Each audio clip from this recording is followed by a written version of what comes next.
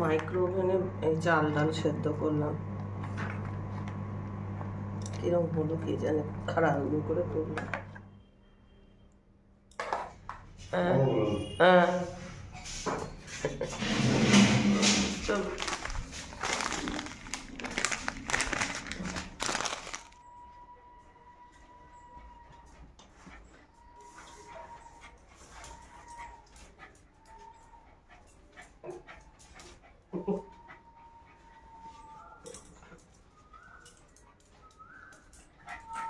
যাচ্ছি না।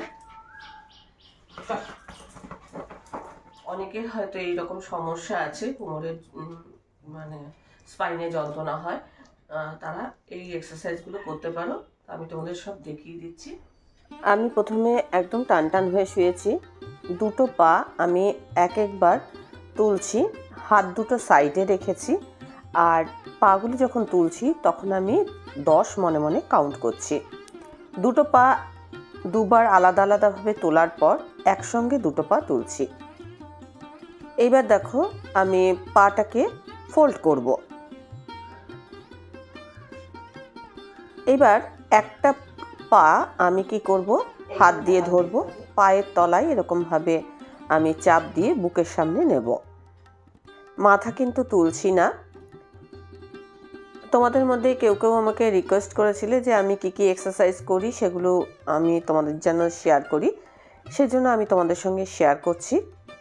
দুটো পা আলাদা আলাদাভাবে আমি তো বুকের সামনে নিয়েছি। দুটো পা এরকম যখন হয়ে যাবে, তারপরে আমি একসঙ্গে দুটো পা ঠিক যেই জায়গাটা দেখাচ্ছি, ওই জায়গাটাতে হাত দিয়ে বুকের সামনে নিচ্ছি। সাধারণত সকালের দিকে কিংবা বিকেলের দিকে এক্সারসাইজগুলো করা যায়। আর এবার আমি কি করব? আমার পেটটাকে একটু ভেতরের দিকে ঢোকাবো আর আমার কোমরটাকে তুলবো, নিঃশ্বাসটাকে বন্ধ করব। হাত দুটো কিন্তু পাশে থাকবে। প্রত্যেকটা ব্যায়াম করার সময় খুব আস্তে আস্তে করতে হবে।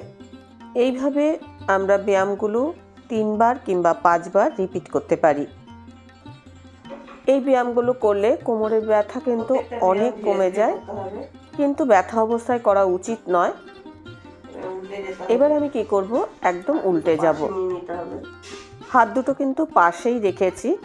পাটাকে এবার আমি যেরমভাবে সামনের দিকে করেছিলাম একটা করে পা উপরে তুলছিলাম তারপরে নামিয়ে আরেকটা পা তুলছিলাম ঠিক সেইভাবেই কিন্তু উল্টোভাবেও আমি করছি। মাথাটা কিন্তু নিচুতেই রেখেছি হাত দুটো সাইডে রেখেছি খালি পাগুলোকে আমি তুলছি। একটা করে পা তোলা হয়ে গেছে, এবার দুটো পাকে আমি একসঙ্গে তুলছি। আমি যেভাবে এক্সারসাইজগুলো করছি, যদি কারও বুঝতে কোনো অসুবিধা হয়, তাহলে কিন্তু কমেন্ট বক্সে কমেন্ট করে জানাতে পারো। এবার হাত দুটোকে আমি সামনে নিয়ে নিয়েছি, আর মাথাটাকে আমি ওপরে তুলেছি।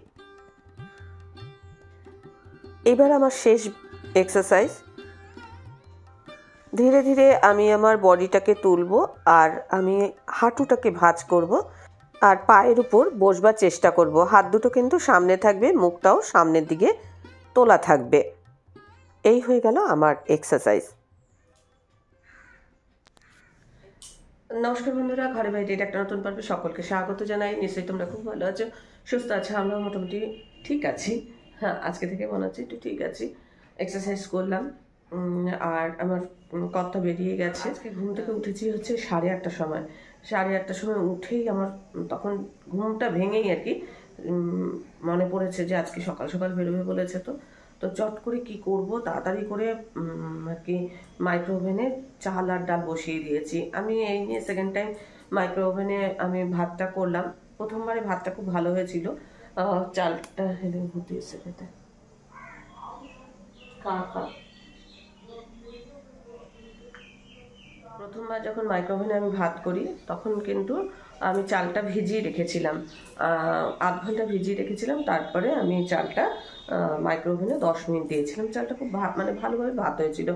একদম সুন্দর ঝরঝরে যেরকম আমরা ভাত খাই, ওরকম ভাত হয়েছিল। কিন্তু আজকে সেই সময়টা পাইনি যে চালটা ভিজিয়ে রাখব। ঝট করে আর কি বসিয়ে দিয়েছিলাম। কারণ ও বলেছে যে নটার মধ্যে বেরোবে। এবার আমি ঘুম থেকেই উঠেছি সাড়ে আটটার সময়। এবার উঠেই আমার তখন মানে আমি যখন এখন তো ওষুধ খাচ্ছি সেই ওষুধ খেলে আমার ভীষণ ঘুম হচ্ছে। আর সেই ঘুমটা আমি সঙ্গে সঙ্গে তো কাটানো যায় না মাথাটার ঘুম থেকে উঠলেও মনে মাথাটা ঘুরতে থাকে। তো ফ্রেশ হয়ে তাড়াতাড়ি করে চাল ডাল বসিয়ে দিয়েছি। তো দুবার ফ্যান পড়ে গেছিল মানে একটু বেশি পরিমাণে জল দিয়েছি, ভাবছি যে কেননা চালটা সেদ্ধ হতে হবে। দুবার ফ্যান পড়ে গেছিল অফ করে আবার খুলে আবার পরিষ্কার করে আবার বসিয়েছি। যাই হোক তোমরা যদি কোনো সময় মাইক্রোওভেনে ভাত করো, তাহলে দশ মিনিট দেবে সময়। আর চালটা ভিজিয়ে রাখবে। চালটা ভিজিয়ে রাখলে তাহলে ভাতটা ভালো হবে।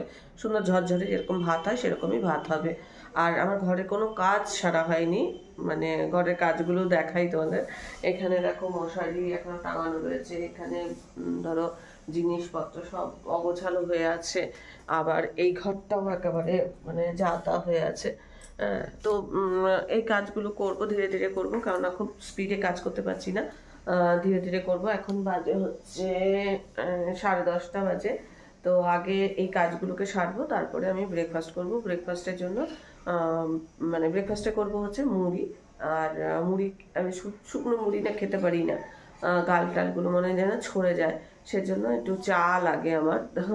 চাটা ছিল না, সিঁড়িতে ছুঁড়ে দিয়ে গেছে।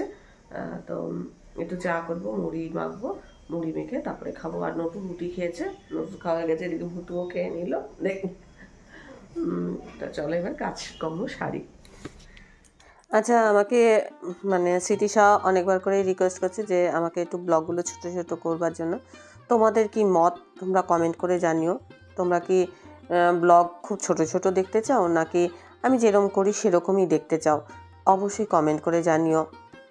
তাহলে আমি চেষ্টা করব সেরকমভাবে ব্লগটা তৈরি করবার।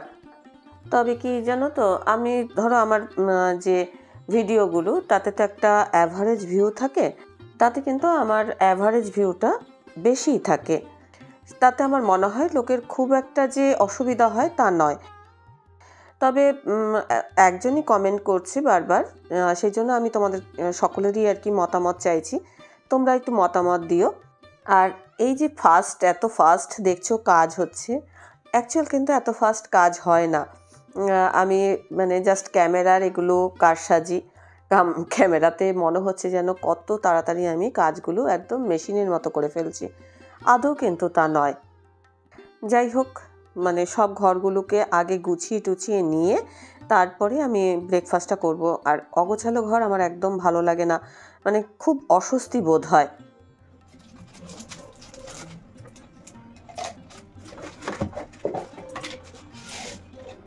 এখন এই যে মুড়ি নিয়ে নিয়েছি, চা মুড়ি খাব।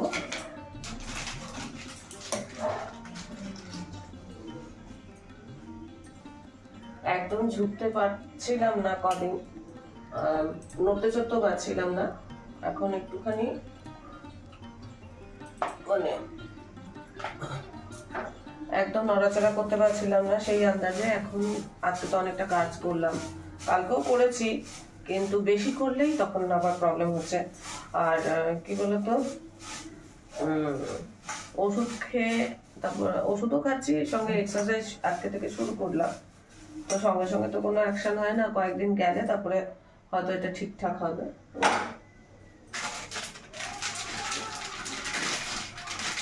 বৌদি গাজরের হালুয়া কালকে পাঠিয়েছিল, একটু খাওয়া হয়েছে। আর এই এতটা রয়েছে।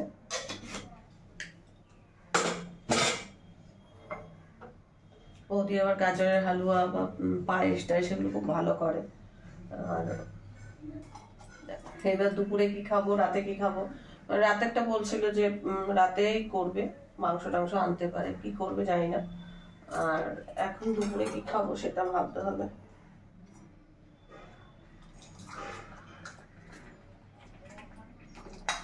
আমার ব্রেকফাস্ট এখন বারোটা দশ বাজে। তো রান্নার চ্যানেলে কালকে আমি ভিডিও শ্যুট করেছিলাম, যেটা কিনা কুমড়োর ঘন্ট। সেটার আমি ভয়েস ওভার দিলাম, দিয়ে লেখালেখি যা করবার করলাম, করে এখন ভিডিওটা আপলোড করতে দিয়েছি।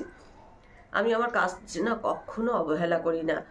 ধরো আমার এত শরীর খারাপ, আমি মানে এই রকম ধরনের ওষুধগুলো খাচ্ছি, তাও কিন্তু আমি রেগুলার মানে চেষ্টা করে যাচ্ছি যে আমার কাজ করবার।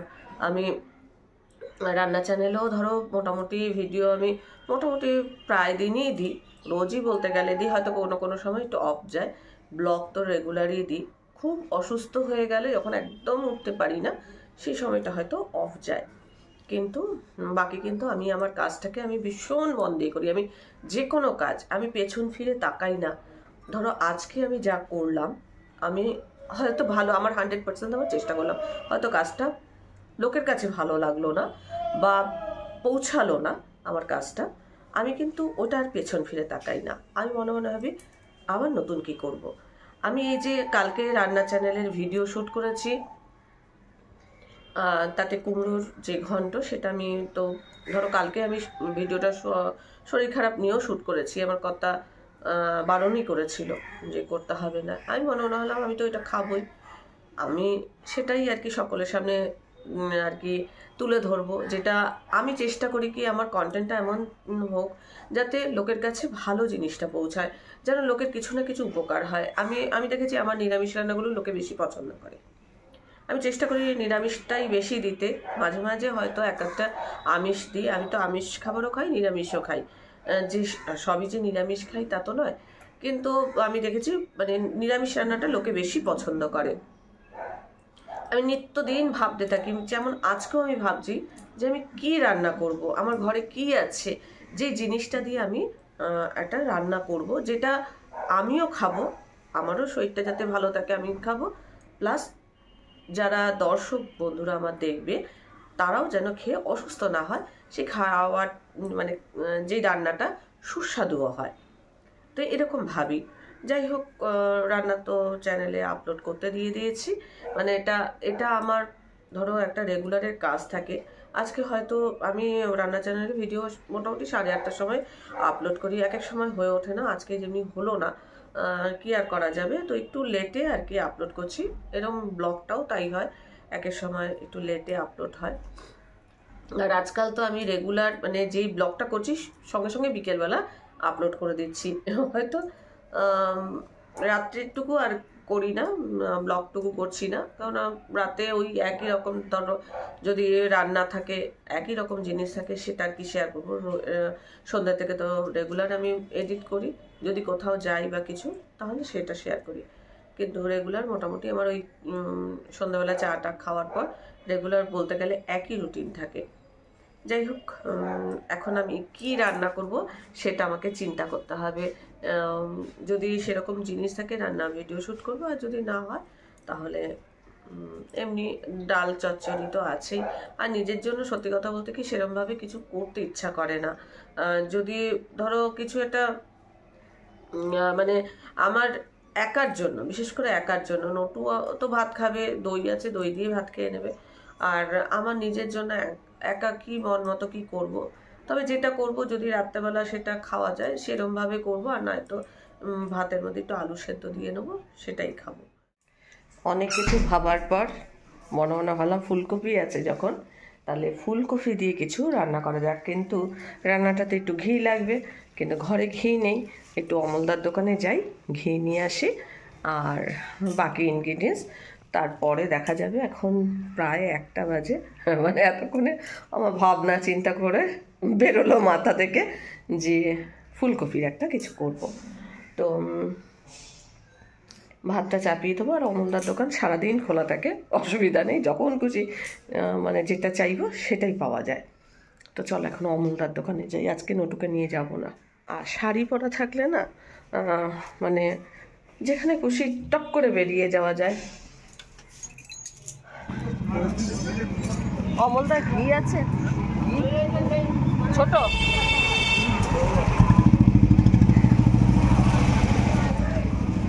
আর এলাচ দেবো। এইটা? হ্যাঁ? এর থেকে বড়টাই দিয়ে দিন না? এটা কত? এটা কত?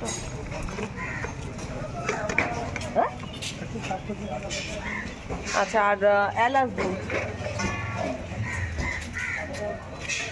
নেই কি কাজ হচ্ছে কোথাও?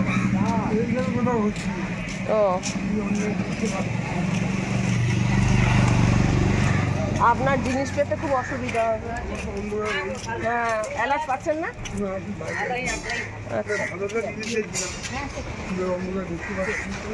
হ্যাঁ অন্ধকার তো। অবশেষে পেয়েছে অমলদা। এখন এই ছোট ছোটই নিয়ে যাচ্ছি। আমার কর্তা থাকলে আমাকে বাজারে বেরোতে হয় না, কিন্তু না থাকলেই আমাকে বেরোতে হয়। এখন আর তোমাদের সাথে কথা বলব না। স্নান টান সেরে ভিডিওটা শ্যুট করব, কারণ এখন কারেন্ট নেই। ভিডিওটা শ্যুট করতে পারব না। ইনগ্রিডিয়েন্টসগুলোকে আমি ধরো রেডি রেডি করে নেব, নিয়ে স্নান টান করে আসব। আর ভাতটা চাপিয়ে তারপরে রান্নার ভিডিওটা শ্যুট করব। একটু ভরে উঠেছি, তাই হাঁপাচ্ছি।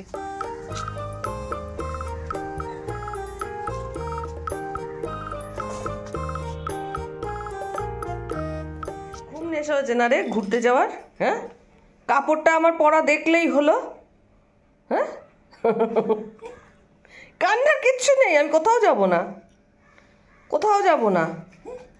এই কাঁদবি না। আমি এখন দেখছিস না, রান্না করছি। না বাবু, এখন আমি তো যাব না। আমার একটু শরীর ভালো হোক, তারপর, তারপরে ঘুরতে যাব, তারপরে ঘুরতে যাব। একটু শরীরটা ভালো হয়ে যাক। এই তো বায়না শুরু করেছে। কালকে থেকে নেই আমি এবার বেল্ট তুলে রেখে দেবো। না। আমি এখন ঘুরতে যাব না রে সোনা। আমি রান্না করতে দে। সর। রান্না করতে দে বাবু, রান্না করতে দে, আমার সোনা আমার সোনা আমার। আমি রান্নাটা করে নিই, খাব কি? হ্যাঁ? হ্যাঁ খেতে হবে না, সোনা। হ্যাঁ তোমায় নিয়ে খালি ঘুরতে গেলেই আমার হবে। হ্যাঁ আমি একা একা যাই হ্যাঁ? আমি এবার তাহলে কাপড় টাপড় ছেড়ে এবার নাইটি পরে নেব, নে, তাহলে শান্তি হবে।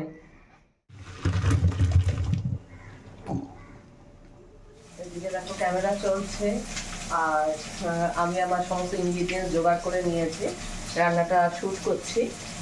এই রান্নার ভিডিওটা তোমরা সংকল্প কিচেনে দেখতে পাবে। তো, এখন এই, ধরো পরে ভয়েস ওভার দেবো বলে এখন ধরো এই শ্যুটটার মধ্যে আমি কথা বলছি। কিন্তু যখন আমি শ্যুট করি তখন কিন্তু আমি কথা বলি না। যখন আমি ধরো রান্নাটা কমপ্লিট হয়ে গেল, তারপরে এডিটিং করার পর আমি ভয়েস ওভার দিই। তো অনেকেই হয়তো রান্নার ভিডিও করতে চাও বা যে কোনো ভিডিও করতে চাও, তো এরকম কিনে নেবে থাকলে করতে কোনো অসুবিধা নেই। কিছুটা অংশ তোমাদের দেখালাম, যেটাতে কিনা আমার যেটা কিনা আমার স্বামী বলো কেউই আমাকে সাহায্য করে না, এটা কিন্তু আমি নিজে নিজেই করি। আর এরকম ট্রাইপড থাকলে নিজে নিজেই করা যায়। তো চলো, এবার এই রান্নাটা করছি, এখন ফুলকপিগুলো ভাজছি। তারপরে বাকি ইনগ্রিডিয়েন্টস কী দেবো, না দেবো, সেটা পরের ব্যাপার। রেডি করা হয়ে গেছে আমার। এখন আমার কথা বলেছিল যে আসতে দেরি হবে, বিকেল হয়ে যাবে, যার জন্য ভাত সকাল অল্প করে ভাত করে ওকে দিয়ে দিয়েছিলাম। এইবার এখন ফোন করে বলছে যে, এরকম আমি আসছি আর মানে পনেরো কুড়ি মিনিটের মধ্যে। তো এদিকে আমার তো ভিডিও শ্যুট হয়ে গেছে। তাড়াতাড়ি করে কি করলাম? একটু আতপ চাল ভিজিয়ে দিলাম। এটা রেডি হয়ে গেছে। ভিডিও শ্যুট হয়ে গেছে। তাও আবার শিলে বেটে রান্না করলাম। তা যাই হোক, অল্প অল্প জিনিস যদি বাটা হয়, মিক্সিতে খুব ভালো বাটা হয় না। আর ভিডিওটা ধরো আমি দেখাবো যেরকম, যাতে ভালো হয় সেরকমই তো দেখাবো। তো ওটা এখন শিলটাকে তুলতে হবে, শিল শিলনোড়া ধুতে হবে। এটাই হচ্ছে মানে ভারী জিনিস তো। শিলনোড়াটা উপরে রাখলেই হয়, কিন্তু এত ছোট জায়গা না রান্নাঘরটা। এর মধ্যে ভিডিও শুট এর মধ্যে সমস্ত জিনিস, এর মধ্যে সবকিছু। এর জন্য না খুব অসুবিধা হয়ে যায়। নাহলে অনেকেই দেখেছি শিলনোড়াটা ওই ধরো কাউন্টার টপের উপরে রাখে। যারা শিলনোড়ায়, ধরো বেটে খেতে অভ্যস্ত, তারা শিলনোড়াটাকে কাউন্টার টপের উপর রাখে। আর ধরো, এখন তো শিলনোড়ার ব্যবহার উঠেই যাচ্ছে। তবুও যতদিন পারি করি। যখন একদম পারব না, তখন ছেড়ে দিতে হবে। তখন ওই মিক্সি জারের উপরেই নির্ভর করতে হবে। তো এটার জন্য একটু বকা খাব।